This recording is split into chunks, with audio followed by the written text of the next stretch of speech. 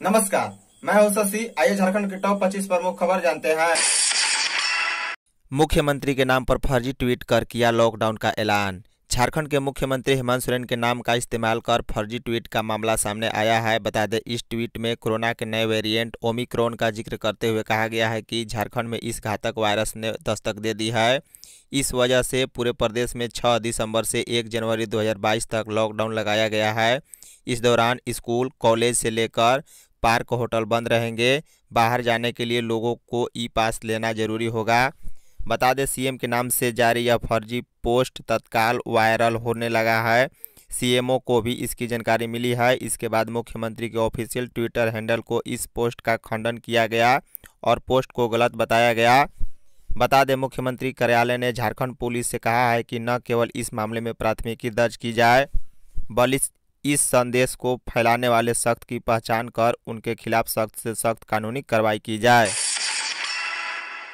झारखंड में शनिवार से चक्रवाती तूफ़ान जवाद का असर दिखने लगा है। बता दें, इससे राज्य के कई इलाकों में सोमवार तक बारिश होगी। मौसम वैज्ञानिकों के अनुसार झारखंड के दक्षिणी और मध्य हिस्से गढ़वा पलामू, चतरा, लातेहार को छोड़कर सभी ज़िले में जवाद का असर दिखेगा।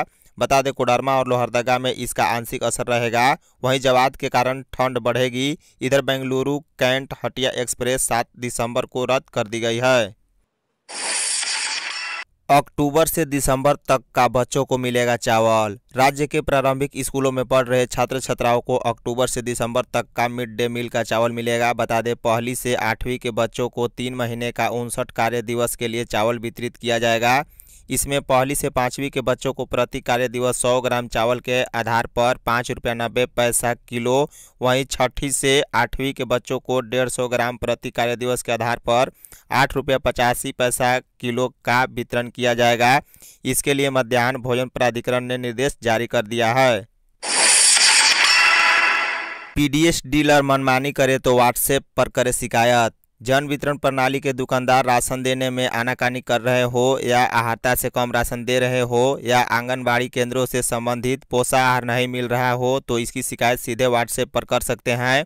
बता दें, इस संबंध में झारखंड राज्य खाद्य आयोग ने व्हाट्सएप नंबर जारी किया है, जिसके माध्यम से विभिन्न योजनाओं से संबंधित अनियमितता संबंधित शिकायत राज्य खाद्य आयोग के समक्ष दर्ज की जा सकती है। बता दें, आयोग के अवर सचिव नरेश प्रसाद केवट ने सूचना जारी करते हुए कहा है कि राष्ट्रीय खाद्य सुरक्षा अधिनियम 2013 से आच्छादित शिकायतों को प्राप्त करने के लिए राज्य खाद्य आयोग द्वारा व्हाट्सएप नंबर इक्यानवे बयालीस बासठ इक्कीस चौरानवे जारी किया गया है। रांची में ओमिक्रोन का संदिग्ध मरीज़ मिला। भुवनेश्वर भेजे गए सैंपल। रांची में कोरोना के नए वेरिएंट ओमिक्रोन का एक संदिग्ध मरीज़ मिला है। बता दें, यह मरीज़ रांची के एक निजी अस्पताल में भर्ती है। इस मरीज़ का सैंपल जीनोम सीक्वेंसिंग के लिए भुवनेश्वर भेजा गया है। इस संदिग्ध के सैंपल की जीनोम सीक्वेंसिंग कराने के लिए उपायुक्त ने निर्देश दिया है। बता दें, रांची के सिविल सर्जन के अनुसार संदिग्ध मरीज़ की ट्रेवल हिस्ट्री नहीं है। उपायुक्त के निर्देश पर निजी अस्पताल में भर्ती मरीज़ का सैंपल भुवनेश्वर भेजा गया है। इस माह रांची से कुल 28 सैंपल जीनोम सीक्वेंसिंग के लिए भुवनेश्वर भेजे गए हैं। झारखंड के सभी पंचायतों में खुलेंगे जेनरिक मेडिकल स्टोर। फार्मासिस्ट की ज़रूरत नहीं। राजधानी की तर्ज पर जिला की सभी पंचायतों में जेनरिक मेडिकल स्टोर खोलने के प्रस्ताव पर काम शुरू कर दिया गया है। बता दें, इसके लिए जिला ग्रामीण विकास अभिकरण की ओर से सभी प्रखंड विकास पदाधिकारी को पत्र लिखकर 15 दिसंबर तक इच्छुक एजेंसी की आवेदन प्रक्रिया को पूरा कर लेने को कहा गया है। बता दें, जेनरिक मेडिकल स्टोर खोलने के प्रस्ताव पर पंचायत सचिव व मुखिया द्वारा अनुशंसा की जानी है। अंत में प्रखंड विकास पदाधिकारी व औषधि निरीक्षक द्वारा संयुक्त रूप से स्टोर खोलने की अनुशंसा करने के बाद लाइसेंस जारी कर दिया जाएगा। ज्ञात हो कि स्वास्थ्य विभाग के अपर मुख्य सचिव अरुण कुमार सिंह ने सभी पंचायतों में जेनरिक मेडिकल स्टोर खोलने का प्रस्ताव औषधि निषेधालय को दिया था। यूपी में जीका वायरस को बढ़ता देख झारखंड में भी बढ़ती जा रही सावधानियाँ। उत्तर प्रदेश में जीका वायरस के संक्रमण को देखते हुए झारखंड में भी सतर्कता बरती जा रही है। बता दें, डेंगू और चिकुनगुनिया की निगेटिव जाँच रिपोर्ट को जीका की आशंका मानकर जाँच कराई जा रही है। आईसीएमआर के निर्देश पर सैंपल को जाँच के लिए एनआईवी पुणे भेजा गया है। बता दें, जिलों से संग्रहित 150 सैंपल को जीका की जाँच के लिए रिम्स माइक्रोबायोलॉजी विभाग ने पुणे भेजा है। हालाँकि एनआईवी पुणे से इसकी रिपोर्ट अभी नहीं आई है। इसके बावजूद जीका संक्रमण को लेकर स्वास्थ्य विभाग सतर्क है। कोरोना गाइडलाइन का रांची रेलवे स्टेशन पर उड़ रही धजिया। रांची रेलवे स्टेशन में कोरोना गाइडलाइन की धजिया उड़ रही है। बता दें, यहाँ पर आने वाले यात्रियों की न तो कोविड जाँच हो रही, न ही उनसे कोई कुछ पूछ रहा है। बता दें, रेलवे स्टेशन में यात्रियों की भीड़ को संभालने के लिए भी कोई व्यवस्था नहीं की गई है। ज़बरदस्त भीड़ के बीच लोग कोरोना नियमों को भूल गए हैं और अधिकतर लोग मास्क भी नहीं पहन रहे। मालूम हो, कोरोना के नए वेरिएंट ओमिक्रोन को लेकर सभी जगहों को अलर्ट मोड पर रहने का निर्देश दिया गया है, लेकिन यहाँ पर कोई टेस्ट के लिए जाँच टीम तक पर्याप्त संख्या में नहीं भेजी गई है। झारखंड में आसुरी शक्तियों का राज, सरेआम लूट, हत्या व दुष्कर्म। रघुवर दास, झारखंड में आसुरी शक्तियों का राज कायम हो गया है। बता दें, प्रदेश में सरेआम लूट, हत्या व दुष्कर्म की घटनाएँ घटित हो रही है। दो वर्ष के शासन में वर्तमान सरकार ने राज्य का विनाश कर दिया है। सिर्फ़ मुख्यमंत्री उनके परिजनों तथा मंत्रियों का विकास हो रहा है। ऐसी सरकार को सत्ता में रहने का कोई अधिकार नहीं है। यह बातें प्रदेश के पूर्व मुख्यमंत्री और भाजपा के राष्ट्रीय उपाध्यक्ष रघुवर दास ने शनिवार को इटखोरी में कही। बता दें, पूर्व मुख्यमंत्री यहाँ ऐतिहासिक माँ भद्रकाली मंदिर में पूजा अर्चना करने आए थे। झारखंड में कोरोना के 11 नए केस मिले हैं, जबकि 14 मरीज़ स्वस्थ भी हुए हैं। झारखंड में कोरोना के कुल एक्टिव केस की संख्या छियानवे है। भारत में छियासी सौ तीन नए केस मिले हैं, जबकि इक्यासी सौ नब्बे मरीज़ स्वस्थ भी हुए हैं। सांसद विधायक को निजी वाहन पर नेम प्लेट लगाने की छूट नहीं। हाई कोर्ट की नाराज़गी के बाद राज्य सरकार ने सांसदों और विधायकों के निजी वाहन पर नेम प्लेट लगाने की छूट वापस ले ली है। बता दें, अब सिर्फ़ सरकारी वाहनों पर ही नेम प्लेट लगाने की छूट है। दरअसल झारखंड हाई कोर्ट के chief justice doctor Ravi Ranjan व जस्टिस एस एन प्रसाद की अदालत में राज्य के विधायक, सांसद और दूसरे जनप्रतिनिधि अपने निजी वाहन में नेम प्लेट और बोर्ड के मामले में सुनवाई हुई थी। सुनवाई के दौरान परिवहन सचिव की ओर से दाखिल उस शपथ पत्र को वापस ले लिया गया था, जिसमें सरकार ने जनप्रतिनिधियों को निजी वाहन पर नेम प्लेट लगाने की छूट प्रदान करने की बात कही थी। देश की अर्थव्यवस्था के विकास में उद्योग की भूमिका महत्वपूर्ण। राज्यपाल। राज्यपाल रमेश बैस ने कहा है कि किसी भी राष्ट्र और राज्य की अर्थव्यवस्था के विकास में उद्योग की महत्वपूर्ण भूमिका होती है। उद्योग से मेरा अर्थ सिर्फ़ बड़े उद्योग ही नहीं, बल्कि इसमें लघु एवं कुटीर उद्योग भी है। जिन राज्यों में उद्योगों का विकास होता है, वहाँ रोज़गार की असीम संभावनाएँ होती है, जो पलायन को भी रोकती है। बता दें, राज्यपाल रमेश बैस शनिवार को होटल रेडिसन ब्लू में Indian chamber of commerce Jharkhand chapter द्वारा खनन उद्योग में शौचालन और नवाचार चुनौतियों और अवसर विषय पर आयोजित चौथे आईसीसी माइनिंग कंक्लेव को बतौर मुख्य अतिथि संबोधित कर रहे थे। तिरासी बकरी लूटकर उग्रवादी संगठन खड़ा करने की तैयारी करने वाले तेरह उग्रवादी गिरफ़्तार। गुमला ज़िले के चैनपुर अनुमंडल क्षेत्र के जारी थाना अंतर्गत गोविंदपुर गाँव के पास व्यापारी मुमताज़ अंसारी के साथ मारपीट कर रुपए व बकरियों की लूट गुरुवार की रात हुई थी। बता दें, इस लूट कांड को पीएलएफआई के दो उग्रवादी सहित नए संगठन को तैयार करने वाले उग्रवादियों के सहयोगियों ने अंजाम दिया था।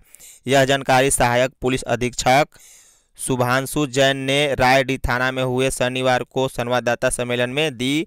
उन्होंने बताया कि लूट के रुपए से पीएलएफआई को दो उग्रवादी सिसाई के तेतर टोली निवासी अर्जुन यादव और जारी के तिगरा गाँव निवासी धनेश्वर मिंज के साथ मिलकर उनके सहयोगी नया संगठन बनाने और उसे मज़बूत करने के लिए हथियार खरीदने की तैयारी कर रहे थे।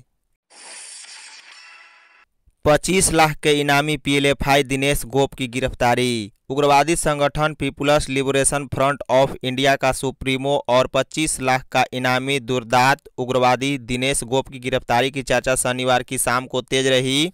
हालाँकि पुलिस मुख्यालय ने गोप की गिरफ्तारी से इनकार किया है। बता दें, दिनेश गोप मूल रूप से खुट्टी के कारा थाना क्षेत्र स्थित लापा मोरहा टोली का रहने वाला है। उसकी रांची सहित कई जिलों में संपत्ति है, जिसे झारखंड पुलिस व एनआईए की सक्रियता से जब्त किया जा चुका है। बता दें, पीएलएफआई सुप्रीमो दिनेश गोप की तलाश झारखंड पुलिस के साथ साथ एनआईए भी कर रही है। उस पर ठेकेदारों, व्यापारियों को धमकाकर लेवी रंगदारी वसूलने तथा लेवी के रुपए को अपने सहयोगियों के माध्यम से निवेश कराने सहित कई आरोप हैं। झारखंड सरकार और केंद्र के प्रयास से छह और कोल ब्लॉक में शुरू होगा उत्खनन कार्य।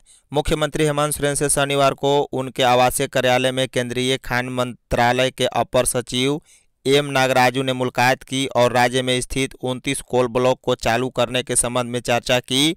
बैठक में मुख्यमंत्री को अवगत कराया गया कि राज्य के 29 कोल ब्लॉकों में से तीन कोल ब्लॉक में पहले से ही उत्खनन कार्य चल रहा है तथा आने वाले कुछ महीनों में केंद्र एवं राज्य सरकार के संयुक्त प्रयास से केरेडारी चट्टी बरियातू बादाम तुबेद टोकीसूत एवं लोहारी कोल ब्लॉक में उत्खनन कार्य शीघ्र ही चालू हो सकेगा।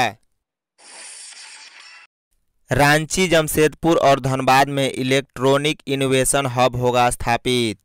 राज्य सरकार रांची, जमशेदपुर व धनबाद में ईएसडीएम इनोवेशन हब की स्थापना करेगी। साथ ही आदित्यपुर के अलावा केंद्र के सहयोग से दो और इलेक्ट्रॉनिक मैन्युफैक्चर क्लस्टर की स्थापना करेगी। बता दें, दोनों ईएमसी की स्थापना रांची और धनबाद में होगी। इसे प्रमुख शैक्षणिक संस्थानों और झारखंड औद्योगिक क्षेत्र विकास प्राधिकरण का भी सहयोग लिया जाएगा। राज्य सरकार ने IT data centre, BPO investment promotion policy 2021 लागू करने का निर्णय लिया है, जिसमें इसके लिए प्राविधान किए गए हैं। झारखंड में चक्रवात जवाद का दिख रहा असर। पश्चिम मध्य बंगाल की खाड़ी के ऊपर उठे चक्रवाती तूफ़ान जवाद का असर झारखंड में भी दिखने को मिल रहा है। बता दें, राजधानी रांची समेत प्रदेश भर में तापमान का पारा गिरने लगा है। शनिवार को दिन भर मौसम सर्द बना रहा है। वहीं चार किलोमीटर की रफ्तार से बह रही ठंडी हवा के कारण लोग घरों में सिमटे रहे। कामकाजी लोग ही सड़कों पर दिखे। बता दें कि पश्चिम मध्य बंगाल की खाड़ी के ऊपर चक्रवाती तूफ़ान जवाद पिछले छः घंटों के दौरान चार किलोमीटर प्रति घंटा की रफ्तार से लगभग उत्तर की ओर बढ़ता जा रहा है। इस वजह से कुछ दिनों तक इसका सीधा असर राज्य के सभी हिस्सों में दिखने को मिलेगा। मौसम विभाग की माने तो पिछले 24 घंटे में प्रदेश के कुछ स्थानों पर हल्की बारिश हुई, जिस कारण सबसे अधिकतम तापमान 30 डिग्री सेल्सियस गोड्डा का, वहीं न्यूनतम तापमान डाल्टनगंज का 14.2 डिग्री सेल्सियस दर्ज किया गया। सीसीएल में अप्रेंटिस के पाँच पदों पर आवेदन की आखिरी तारीख आज। सीसीएल रांची में अप्रेंटिस के पाँच पदों पर नियुक्ति होगी। इसके लिए रिक्तियों की सूची सीसीएल ने जारी कर दी है। आवेदन की अंतिम तिथि 5 दिसंबर है। बता दें, इच्छुक उम्मीदवार सीसीएल के आधिकारिक वेबसाइट पर जाकर आवेदन कर सकेंगे। नोटिफिकेशन के अनुसार, इन पदों पर भर्ती के लिए आवेदन के पास मान्यता प्राप्त बोर्ड से दसवीं की डिग्री होना अनिवार्य है। इसके साथ संबंधित ट्रेड में एनसीबीटी एससीबीटी से प्राप्त आईटीआई का सर्टिफिकेट होना ज़रूरी है। पेंशन आपके द्वार कार्यक्रम में शिक्षकों को मिला सेवानिवृत्ति का लाभ। रांची ज़िले के प्रारंभिक और माध्यमिक विद्यालय के सेवानिवृत्त शिक्षक, शिक्षिका और शिक्षकेतर कर्मचारियों के सेवानिवृत्त लाभ के भुगतान के लिए पेंशन आपके द्वार कार्यक्रम का आयोजन शनिवार को परियोजना उच्च विद्यालय बेड़ो में किया गया। बता दें, क्षेत्रीय शिक्षा संयुक्त निदेशक दक्षिणी छोटा नागपुर प्रमंडल अरविंद विजय बिलोंग की अध्यक्षता में कार्यक्रम संपन्न हुआ। माध्यमिक विद्यालयों से आभा त्रिवेदी, बसंती कुमारी, भाविती चौधरी और मुकुल घटवार को सेवानिवृत्ति का लाभ प्रदान किया गया। झारखंड पुलिस सिपाही भर्ती में पहले शारीरिक परीक्षा। मुख्यमंत्री हेमंत सोरेन ने शुक्रवार को ऐलान किया है कि राज्य में सिपाही भर्ती में पहले शारीरिक और बाद में लिखित परीक्षा होगी। इसके लिए सरकार नियमावली में बदलाव कर रही है। उन्होंने कहा कि पूर्व की सरकारों ने पुलिस की छोटी सी नौकरी के लिए लिखित परीक्षा अनिवार्य कर दी थी, लेकिन अब सरकार ने नियम बदल दिया है, जिसमें नौकरी करने की शारीरिक क्षमता होगी, उसकी क्षमता दक्षता देखकर पुलिस की नौकरी दी जाएगी। ये बातें सीएम ने चाईबासा के टोटो स्थित शेरे गसिया में आयोजित आपके अधिकार, आपकी सरकार आपके द्वार कार्यक्रम के दौरान कही। इस अवसर पर एक करोड़ से अधिक राशि की परिसंपत्तियों का वितरण भी किया गया। तेज रफ्तार बस पलटी, पच्चीस यात्री घायल। बिहार के गया ज़िले से पश्चिम बंगाल जा रही यात्रियों से भरी एक बस झारखंड के धनबाद ज़िले में दुर्घटनाग्रस्त हो गई। बता दें, घटना राजगंज थाना क्षेत्र के नेशनल हाईवे संख्या दो दलुडीह के समीप की है। इस हादसे में दो दर्जन से अधिक यात्री घायल हुए हैं, जिसमें से तीन की हालत गंभीर बताई जा रही है। बता दें, यह दुर्घटना देर रात्रि की है। दुर्घटनाग्रस्त बस में 40 से अधिक यात्री सवार थे। एक घायल यात्री ने बताया कि ड्राइवर और कंडक्टर दोनों ने शराब पी रखी थी।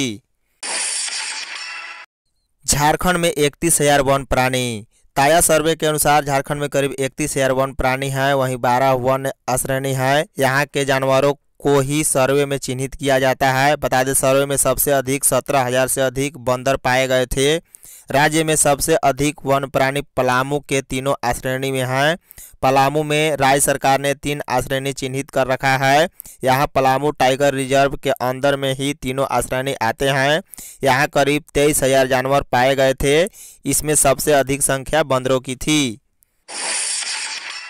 भाजपा विधायक दल के नेता बाबूलाल मरांडी पहुँचे लोहरदगा भाजपा विधायक दल के नेता बाबूलाल मरांडी ने कहा कि अभ्यास वर्ग के माध्यम से व्यक्ति को अपने जीवन में लक्ष्य निर्धारण करने की मदद मिलती है। यह समाज और देश के प्रति जिम्मेवारी का एहसास कराता है। अनुशासन इसका मुख्य उद्देश्य होता है।